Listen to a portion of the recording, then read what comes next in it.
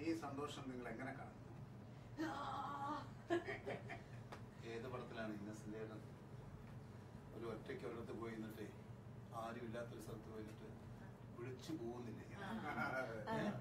അതായത് സത്യം തുറന്നു പറയാൻ വേണ്ടി ഉള്ളിൽ അടക്കി പിടിച്ചിട്ട്. സിനിമ. മോഹൻലാലിന്റെ സിനിമ. എന്ന് പറഞ്ഞ അവസ്ഥയാണ് ഏതെങ്കിലും ആൾ സ്ഥലത്തില്ലാത്ത സ്ഥലത്ത് പോയിട്ട് ഒച്ചയ്ക്ക് ഒന്ന് പൊട്ടിക്കരയണം. ഒന്ന് നിലവിളിക്കണം എന്നൊക്കെ ഒരു ആഗ്രഹം. അത്ര എക്സൈറ്റ്മെന്റിലാണ് അതന്നെ, അതന്നെ. രസതന്ത്രത്തിൽ. അതെ. സത്യം പറഞ്ഞാ. എങ്ങനെയുണ്ട് ഗ്രേസ് അത് തന്നെ ഇതേ അവസ്ഥയാണ് ഗ്രേസിന് എനിക്ക് ഉറക്കം പറയണതല്ല എനിക്കത് ഉറക്കം ചിരിക്കണം എന്നുണ്ടില്ല ആ ഒരു സന്തോഷം. ഭയങ്കര എക്സൈറ്റഡ് ആണ് അങ്ങനെ പറയാം. ഗ്രേസ് പഠിപ്പിച്ച് വലിയ വലിയ വർക്ക് വീഴുന്നു അല്ല എന്നാലും അതല്ലേ ഉള്ളൂ. ഇപ്പൊ മമ്മൂക്കാടെ കൂടെ അല്ലേ അഭിനയിച്ചേക്കുന്നത്. മമ്മൂക്കാടെ വേറായിട്ട് വരുമ്പോ അതിന്റെ ഒരു സന്തോഷം എങ്ങനെയാണ്? എങ്ങനെയുണ്ടായിരുന്നു മമ്മൂക്കാടുള്ള സ്നേഹം കൂടെ കുറച്ച് എനിക്ക് കിട്ടി തുടങ്ങി അത് ഫീൽ ചെയ്യുന്നുണ്ട് ഭയങ്കരമായിട്ട് ആ ഒരു ഭയങ്കരമായിട്ട് ജെനുവൻ ആയിട്ടുള്ള ഒരു റിപ്പോർട്ട്സ് വരുന്നു ഒത്തിരി സന്തോഷമാണ് ആൾക്കാർ നമ്മൾ നമ്മൾ ആക്ച്വലി ഓരോ ഷോട്ട് എടുക്കുമ്പോൾ നമ്മൾ കുറച്ച് കുറച്ച് സാധനങ്ങളൊക്കെ കയ്യിൽ നിന്ന് ഇടുമല്ലോ ഇമ്പ്രൂവ് ആവാൻ വേണ്ടി അതുവരെ നോട്ടീസ് ചെയ്ത ആൾക്കാര് റിവ്യൂ പറയുമ്പോൾ ഭയങ്കര രസമാണ് നമ്മൾ പണിയെടുത്ത് വെറുതെ ആയില്ലല്ലോ എന്ന് ഫീൽ വരും എങ്ങനെയുണ്ട് റിയാസിലേക്ക് ശരി ഞാനിപ്പോ ഇത് പറഞ്ഞ ഈ നനയുമ്പോ ചീര കൂടി നനയുണ്ട് ആ ഒരു സന്തോഷത്തിലാണ് ഞാൻ കാരണം നിങ്ങളുടെയൊക്കെ കൂടെ പോലെ അതിനകത്ത് ഒരു കഥാപാത്രമായിട്ട് ഞാനും ഉണ്ടായിരുന്നു എന്റെ നമുക്ക് കോമ്പിനേഷൻസ് ഉണ്ടായിരുന്നു. ഉണ്ടായിരുന്നു. ഞങ്ങൾ അതൊരു വലിയ സന്തോഷമൊക്കെ പിന്നെ ഇഷ്ടപ്പെട്ടു എങ്ങനെ ഉണ്ടായിരുന്നു നസീർ ഖാൻ നസീർ ഖാൻ മമ്മൂക്കായിട്ടുള്ള ഫസ്റ്റ് ഷോട്ട് ഈ സിനിമയിൽ അഭിനയിച്ചത്. എന്ത് തോന്നുന്നു? മമ്മൂക്കായിട്ടുള്ള ഫസ്റ്റ് ഷോട്ടാണ് അല്ല ഞാൻ ആ പുഴയുടെ സൈഡിൽ ഇരുന്നിട്ട് സംസാരിക്കുന്നത് ആ. അപ്പൊ അതിന്റെ ഒരു രണ്ട് മൂന്ന് പേജുള്ള ഡയലോഗ് ഉണ്ടായിരുന്നു.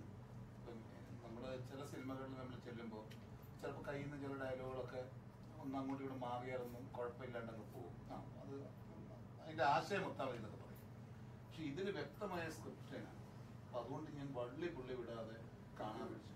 അപ്പൊ ആ ഷോട്ട് കഴിഞ്ഞപ്പോൾ നമ്മുടെ റൈറ്റർ വന്നിട്ട് പറഞ്ഞു ഒരു ഒരക്ഷരം അങ്ങോട്ടും അങ്ങോട്ടും ഇല്ല ഇങ്ങോട്ടും ഇല്ലാതെ ഇങ്ങനെ ഇങ്ങനെ കാണാൻ പിടിച്ച് പറയുന്നതെന്ന് നമ്മുടെ എഴുത്തുകാരൻ സമീറിനെ ഏറ്റവും കൂടുതൽ സന്തോഷിപ്പിച്ച ആൾ നസീർക്കാണ്. കാരണം ഒരു അക്ഷരം പോലും മാറിയിട്ടില്ലേ. കൃത്യമായിട്ട് എല്ലാം പറഞ്ഞു. അല്ലാതെ എന്ന് വെച്ചാൽ അവർ ആ- എന്താ പറയുക ഒരു ഡയലോഗുകളുടെ അകത്തേക്ക് അവർ ഒതുക്കുന്ന ഒരു ആശയമുണ്ട്. അവർ കാണുന്ന ഒരു മീറ്റർ ഉണ്ടായിരുന്നു. അത് ചിലപ്പോൾ നമ്മൾ നമ്മുടെ ഇഷ്ടത്തിന് അല്ലെങ്കിൽ നമുക്ക് വഴങ്ങുന്ന രീതിയിൽ അങ്ങോട്ടും ഇങ്ങോട്ടും ഷഫിൾ ചെയ്യുമ്പോൾ അവരാഗ്രഹിക്കുന്ന ഒരു എക്സ്പ്രഷൻ ചിലപ്പോൾ പോകും. തീർച്ചയായിട്ടും ആശയമൊക്കെ ഉണ്ടാവും. പക്ഷെ അവർ ഉദ്ദേശിക്കുന്ന കുറച്ച് കാര്യങ്ങളുണ്ട്. അപ്പൊ അത് പോകാതിരിക്കണം നമ്മൾ പ്രത്യേകിച്ച് മിമിക്രിക്കാരായതുകൊണ്ട് ഞാനും എന്താ എന്താ പറയാ തോന്നിയ പോലെ ഡയലോഗ് പറഞ്ഞാണ് ശീലിച്ചിരിക്കുന്നത്. അപ്പം സിനിമയ്ക്ക് അത് പോരാ. സിനിമയ്ക്ക് അവർ പറയണ പോലെ അവർ എഴുതി വെച്ചിരിക്കുന്ന ഡയലോഗുകളൊക്കെ അങ്ങനെ തന്നെ മനഃപ്പടമാക്കി പറയണം. അത് പ്രത്യേകിച്ച് ഈ സീൻ അപ്പൊ ഞാൻ നിസാറിനോട് ചോദിച്ചിട്ടുണ്ടെങ്കിൽ ഈ സീൻ എങ്ങനെയാണ് എടുക്കുന്നത് എപ്പോഴാണ് എടുക്കുന്നത് അപ്പം ഇത് ഒരുമിച്ച് ഒറ്റയടിക്ക് എടുത്ത് പോവുകയാണോ കാണാൻ പിടിച്ച് പറയണമല്ലോ ഇച്ചിരി മടിയുണ്ടല്ലോ അപ്പൊ അത് അവിടെ മടിയുണ്ട് ആ അങ്ങനെയല്ല ഈ പ്രോമിറ്റിംഗ് കേട്ട് ശീലിച്ചാണല്ലോ അത് ഞാൻ ചോദിക്കാൻ വരായിരുന്നു പ്രോംപ്റ്റിംഗ് ഒക്കെ നസർക്കയുടെ സമയത്ത് കൂടുതലുണ്ടായിരുന്നു അതല്ലേ ഉണ്ടായിരുന്നുള്ളൂ കേട്ട സമയത്ത് പ്രോമിറ്റിംഗ് എല്ലാം ഉണ്ടായിരുന്നുള്ളൂ ഇപ്പൊ എക്സ്പെക്ട് ചെയ്യുമോ നമ്മൾ ഷൂട്ട് ചെയ്യുമ്പോൾ ഒരാൾ പറഞ്ഞു തന്ന പറഞ്ഞാൽ ഉണ്ടായിരുന്നെങ്കിൽ തോന്നി അല്ല പ്രോമിറ്റിംഗ് രണ്ട് രീതിയിൽ ഇതിനെ ചെയ്യാം. കാര്യം പ്രോമിറ്റിംഗ് കേട്ടിട്ട് നമ്മുടെ ചെയ്തിട്ടുള്ള താരങ്ങളാണ് ഇപ്പം ഉള്ള വലിയ താരങ്ങളൊക്കെ തന്നെ. അതൊരു വഴക്കമാണ്. നമ്മളെല്ലാം ശീലം എന്ന് പറഞ്ഞ പോലെ അവർ ആ മീറ്ററിലേക്ക് വെക്കും. പിന്നെ അവർക്ക് പ്രോമിറ്റ് ചെയ്ത് കൊടുക്കുന്നവർക്കും ഇവരുടെ ഒരു ടൈമിങ്ങും താളവും ഒക്കെ അറിയാം. അപ്പൊ ആ മീറ്റർ അനുസരിച്ചിട്ടായിരിക്കും അവർ ഇട്ട് കൊടുക്കുന്നത്. പക്ഷേ എന്നെ സംബന്ധിച്ചിടത്തോളം ഞാൻ പറയുന്നത് കാണാതെ പഠിച്ച് പറയുമ്പോൾ നമുക്ക് അത് ഡയലോഗ് ഉള്ളിലിട്ട് അതിന്റെ ഇടയ്ക്കുള്ള ചില തിങ്സും കാര്യങ്ങളും ഒക്കെ ഇട്ട് അതിന്റെ ഏറ്റവും മറ്റേത് നമ്മൾ നമ്മൾ അഭിനയിച്ചുകൊണ്ടിരിക്കുമ്പോഴും ഈ ഡയലോഗ് കേൾക്കാനുള്ളതിന്റെ ഒരു ഒരു ശ്രദ്ധ എവിടെയോ ഇത് തെറ്റാതെ പിടിക്കാനുള്ള ഒരു കോൺസെൻട്രേഷൻ അവിടെ പ്രോമിറ്റ് ചെയ്യണ ആളിന്റെ പ്രോമിറ്റ് ചെയ്ത് പ്രോമിറ്റ് ചെയ്ത അവസാനം അയാളുടെ മോഡലേഷൻ ഇപ്പൊ അയാൾ അറിയാതൊന്ന് തുമ്മിയപ്പോ അഭിനയിച്ച ആൾ തുമ്പയും ചെയ്തിട്ടുണ്ട്. സംഭവം ഉണ്ടായിട്ടുണ്ട് പണ്ട്. അപ്പൊ- ചുമലേ ചെയ്തോളൂ. അപ്പൊ അതാ പറയാ ഇത് വേറൊരു പ്രത്യേക സുഖമല്ലേ പിന്നെ നമ്മൾ കാണാതെ പഠിച്ച് പറയുന്ന ഒരു എക്സ്പീരിയൻസ് വേറെയാണ്. സിംഗ് സൗണ്ട് നേരത്തെ? ഞാൻ സിംഗ് സൗണ്ട് പറയുന്നത് സിംഗ് സൗണ്ട് ആണ്. അതിൽ കംഫർട്ടബിൾ ആയി. വോമിറ്റ് ചെയ്താലാണ് കുഴപ്പം. അതെ അതെ. പിന്നെ ഇനി വർഷങ്ങളെ എക്സ്പീരിയൻസ് ഉള്ള ഒരു ആക്ടറാണ് താങ്കൾ. പക്ഷെ അർഹിക്കുന്ന ഒരു പരിഗണന ഇത്രയും കാലം കിട്ടിയിട്ടില്ല. അല്ലെങ്കിൽ ഈ സിനിമയിൽ കിട്ടിയെന്ന് താങ്കൾ തോന്നുന്നുണ്ടോ? ഇനി- ഞാൻ ഇനി ഇനി കിട്ടുമെന്നും. അല്ല ഞാൻ ഇരുപത്തേഴ് കൊല്ലമായി സിനിമ വന്നിട്ട് ഞാൻ വന്ന കാലത്ത് കൂടുതലും മിമിക്രി തമാശ മിമിക്രി തമാശ പറഞ്ഞാൽ മിമിക്രിയുമായി ബേസ് ചെയ്ത സിനിമയിൽ തന്നെയാണ് ഞാൻ തുടങ്ങിയത്. മിമിക്സ് ആക്ഷൻ ഫൈവ് ഹൺഡ്രഡ് പിന്നെ ആ ചുവട് പിടിച്ചിട്ടുള്ള സിനിമകളിലെ കഥാപാത്രങ്ങളൊക്കെ തന്നെയായിരുന്നു എന്നാൽ എന്റെ ഒരു രൂപം എന്താ പറയുക എന്റെ ഒരു രൂപത്തിനൊക്കെ പറ്റുന്ന ഒരു കഥാപാത്രം തമാശയല്ലാത്ത ഒരു സീരിയസ് കഥാപാത്രം ചെയ്യണം എത്രയോ നാളായിട്ട് ആഗ്രഹമുണ്ട്.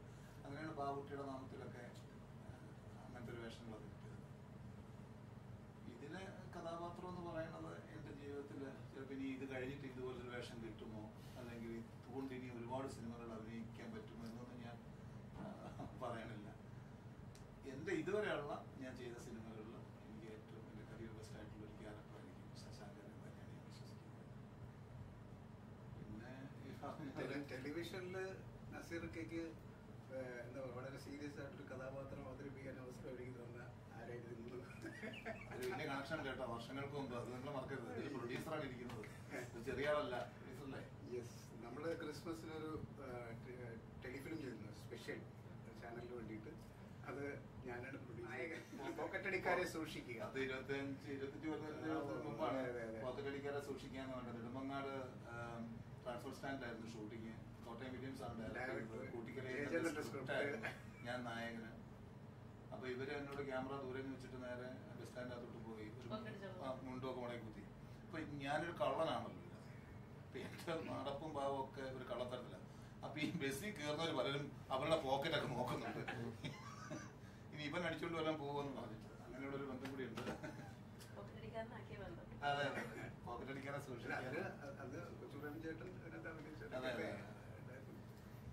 ഇത് എന്താ പറയാ നമുക്കെല്ലാം ആഗ്രഹമുണ്ട്. ഒരുപാട് വ്യത്യസ്തമാർന്ന വേഷങ്ങൾ ചെയ്യണം. പ്രത്യേകിച്ച് ചോദ്യങ്ങളും നമ്മളോട് ഉള്ളവരും എന്റെ കൂടെ വന്ന് ഒരു അവസരങ്ങൾ കിട്ടാത്തത് അപ്പൊ ഞാൻ അതിന് പറയാനുള്ള മറുപടി എന്ന് പറഞ്ഞാൽ എന്നേക്കാൾ കൂടുതൽ അവർ സിനിമയെ സമീപിച്ചിട്ടുണ്ട്. കുറെ ഞാൻ മിമിക്രിയുടെ തിരക്കും കാര്യങ്ങളൊക്കെ ആയിട്ട് അതിൽ നിന്നും. പിന്നെ സിനിമയിൽ കാര്യമായ പറഞ്ഞ പോലെ നമ്മൾ ആഗ്രഹിക്കുന്നതുള്ള വേഷങ്ങളല്ല? എല്ലാം ടൈപ്പ് ചെയ്തപ്പെട്ട വേഷങ്ങൾ ഒന്നോ രണ്ടോ സീനിലൊക്കെ വരുന്നു. സിനിമയോടുള്ള ആഗ്രഹവും പ്രാപ്തിയൊക്കെ കൊണ്ടാണ് അതെല്ലാം സ്വീകരിച്ചു പോകുന്നത് പോലീസ് വേഷം ഇരുപത്തഞ്ച് മുപ്പതാണ് ചെയ്തിട്ടുണ്ട്. അപ്പൊ അവരൊക്കെ ഇങ്ങനെ ചെയ്തു പോകുമ്പോൾ ഇങ്ങനെ ചോദിക്കുമ്പോൾ നമ്മൾ പറയാറുണ്ട് ഒരു സമയം നമുക്ക് വരും കാര്യം നമ്മുടെ ആഗ്രഹങ്ങളും നമ്മുടെ പ്രാർത്ഥനകളും അതിന്റെ പിന്നാമ്പുറത്തുള്ള ഒരു അധ്വാനത്തിനൊക്കെ ദൈവം ഏതെങ്കിലും രൂപത്തിൽ അല്ലെങ്കിൽ ഏതെങ്കിലും രീതിയിൽ നമുക്കൊരു സമയം തരും. എല്ലാത്തിനും ഒരു സമയമുണ്ട്. അത് ഏറ്റവും അത് നമ്മളിപ്പോ ഈ വേഷം ചെയ്യുന്നത് ഇതുപോലൊരു സിനിമയിലായതുകൊണ്ടാണ് ഇതിന്റെ ക്രെഡിറ്റ് അല്ലെ? ഇത്ര നല്ലൊരു സിനിമ ഒരു സത്യസായ സിനിമ നമുക്ക് പോലെ ലെജൻഡ് ഹീറോ ആകുന്ന സിനിമ നിസാം ബഷീറിനെ പോലെ ഇവിടെ പ്രൂവ് ചെയ്ത ഒരു ഡയറക്ടറുടെ രണ്ടാമത്തെ സിനിമ. അങ്ങനെ ഒത്തിരി ഒത്തിരി വിജയകടങ്ങളുള്ള ഒരു സിനിമയാണ്. അപ്പൊ ആ വിജയത്തോടൊപ്പമാണ് നമ്മുടെ കഥാപാത്രം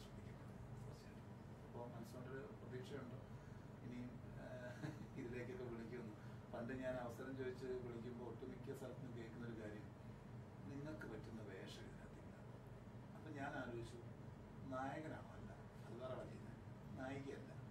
നായിക എന്റെ അച്ഛൻ അതുമല്ല. അതിനൊക്കെ വേറെ വേറെ ആൾക്കാരുണ്ട്. കോമഡി അല്ല അതുമല്ല.